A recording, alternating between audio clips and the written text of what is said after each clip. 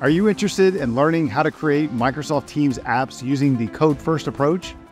What about building apps that can be used across various areas in the Microsoft 365 platform, in addition to Microsoft Teams web, desktop, and mobile clients, like the Microsoft 365 clients, all the Outlook clients, and even SharePoint Online?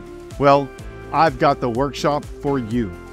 Hey, I'm Andrew Connell, and I'll be at the Microsoft 365 Community Conference in Orlando, Florida, the first week of May, delivering a full day workshop that you just have to join me in.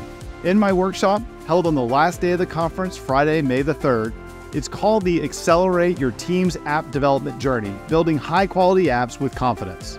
You'll learn how to get started building Microsoft Teams apps using the code first approach, as well as when it does and does not make sense to leverage the SharePoint framework.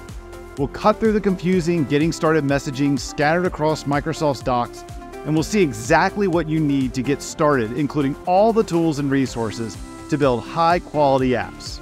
I'm going to show you how to build personal tabs and apps, channel tabs and apps, bots, message extensions, and how you can leverage the Teams AI library in your projects. In fact, I'll even cover how you can use your newfound knowledge to extend Copilot for Microsoft 365 in your organization.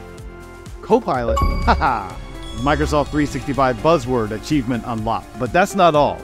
You'll walk away with the slides, code demos, and resources that I use in this session and an exclusive freebie that to one of my courses that I'm only going to offer to attendees in my workshop.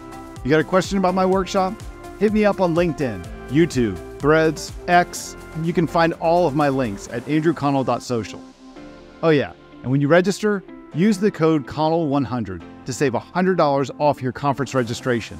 I hope to see you in Orlando in May.